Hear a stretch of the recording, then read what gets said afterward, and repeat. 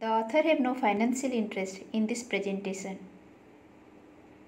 Learning sensory and motor examination of strabismus need time and practice. It is difficult and not always possible to teach concept with real patient. So, here we demonstrate sensory and motor examination in an innovative way that will help residents in a clinical practice as well as in their examination. First, how to make prism induced strabismus. This is the orthotropic eye. When the base in prism is placed in front of the right eye with left eye fixing, the retinal image is displaced nasal to the fovea and the right eye moves temporally.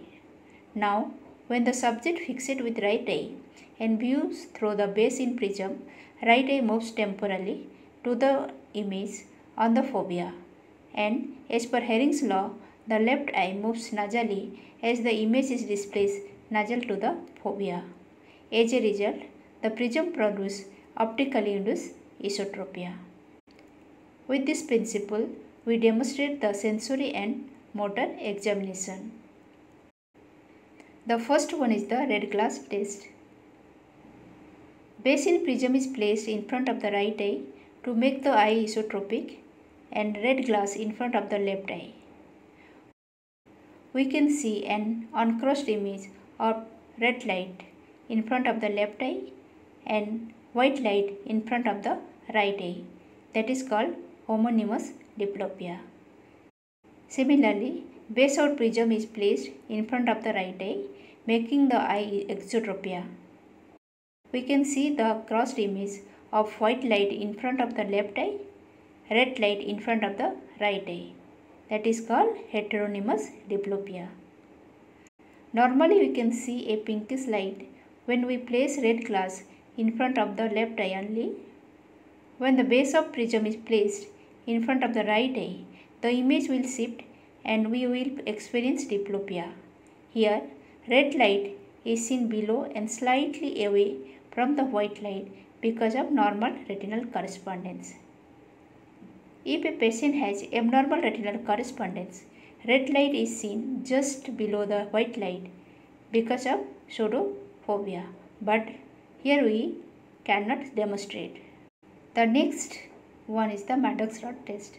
Red Maddox rod which convert white spot of light into a red streak. When the base in prism is placed in front of the right eye, making the eye esotropia, we can see an uncrossed image. And base out prism is placed in front of the right eye, making the eye exotropia, we can see crossed image. To neutralize the image, place the prism in the opposite direction so that they learn how to neutralize the subjective deviation.